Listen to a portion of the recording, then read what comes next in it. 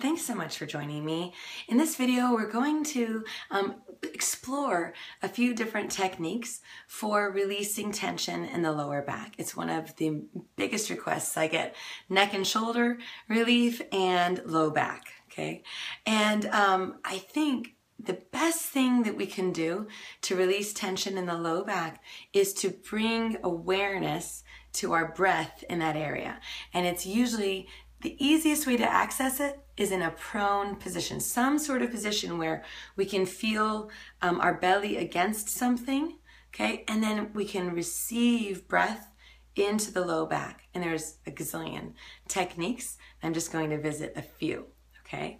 So you might find it helpful to have a couple of bolsters, blankets, um, but truly a way to start out is just on the belly, okay? So if this is comfortable for you and you tend to have tension in your low back, this is very worthy, okay, to explore. So you first want to set this up to have as much space within your body as possible. Okay, so take each leg, one leg at a time, okay, lift it, internally rotate it, reach it away, and lower. And then do the same thing. So we're creating space here. And then using the upper body here to lengthen and then just release. Okay, so you just relax, release tension, release the gripping, the tongue, throat, and jaw. You want this to be the most comfortable position possible. So it, you can do whatever feels best for your hands. And you want to breathe through your nose as much as you can. So the key here is, can you feel breath moving into the sides of your low back around the kidney area or, or those specific spots where you tend to carry tension? Do you feel the breath expanding the sides evenly? And can you release tension along the shoulders, neck, the face?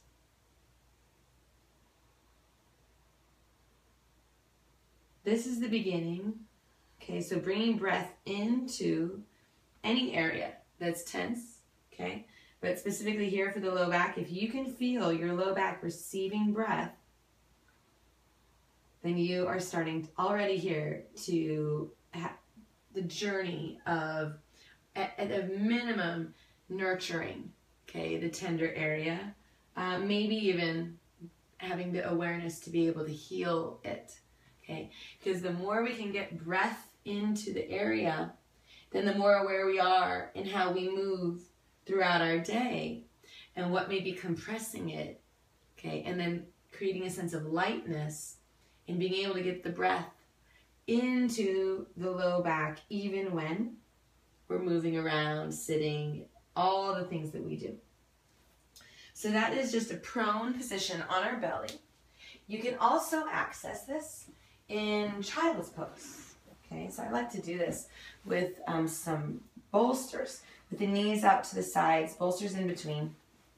Okay, and I'm trying to get the bolster, right, trying to get my belly over the bolster, and you could rest on one side of your face, okay? I just want to make sure you can hear me, but um, really, again, so it's that the belly is against something, okay? Therefore, we're going to be aware and feel if breath comes into the low back or if it's not. Because many of us throughout our day are more of chest breathers. You know, the breathing is shallow. We're not breathing in a calm, okay, way that's going to decrease tension. And so this part of our body gets neglected. So we want to, you know, take time to really, at a minimum, you know, just be aware of it. And then with our awareness, try to assist. That's what these things are, just techniques to assist the breath. It's very calming, okay? So you can, this might be, you know, the, the pose you enjoy. I'm just gonna show one more. And this is where you just put the um, support, okay, firm blanket support across, to make sure I don't get out of the view here, but across the pelvis, okay. So it's it's grounding the thigh bones up into the hip joints. And and you want to adjust things until you're like, "Oh, okay. This feels good. This feels good." And again, just release. Letting go and surrendering.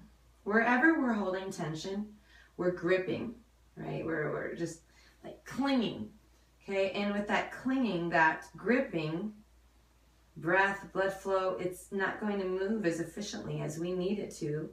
And then we feel tight and compressed and congested. So the more we can unlock it, and in the unlocking, direct the breath into the area, it's, it's like magic, except that it's not magic. Okay. It's a very accessible technique that you can do anytime. Okay.